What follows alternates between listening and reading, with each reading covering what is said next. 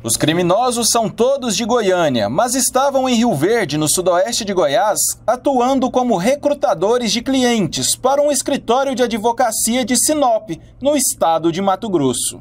Chegou um informe que haveria uma reunião aqui em Rio Verde, onde advogados estariam captando ilegalmente clientes, informando que quem teria casa do programa Minha Casa Minha Vida, governo federal, e tivesse com algum problema estrutural, esses advogados conseguiriam uma indenização de 60 mil reais. O alvo dos criminosos eram os moradores do Nilson Veloso, bairro que atende os critérios necessários para o processo oferecido, já que todas as casas foram construídas através do antigo programa do governo federal Minha Casa Minha Vida. Para atrair os possíveis clientes, os criminosos investiram pesado em publicidade.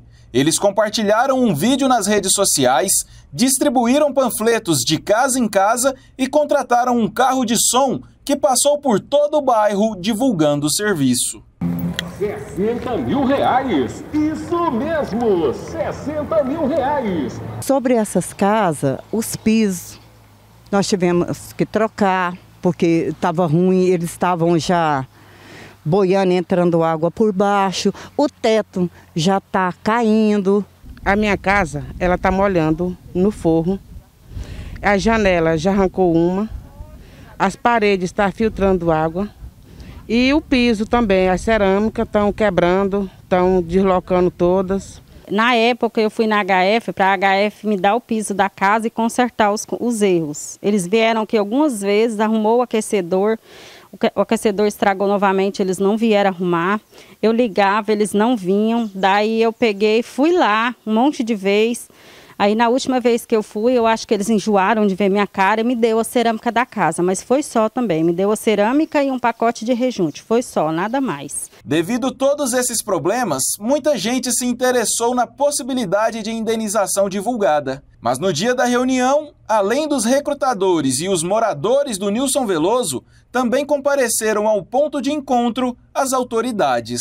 Aí os policiais fizeram diligência até o local, e na data da reunião, eles realizaram a detenção de cinco indivíduos que estariam angariando esses clientes de forma ilegal e apreenderam os formulários para preencher os dados do imóvel, além da procuração que o beneficiário autorizaria o escritório a ajuizar a ação de indenização. Os cinco recrutadores de clientes foram presos em flagrante por exercício ilegal da profissão.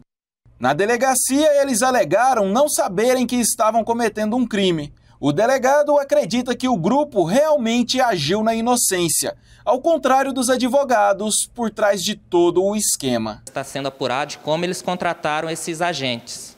E eles receberiam 40% da ação de indenização, cuja promessa no contrato seria de 60 mil reais.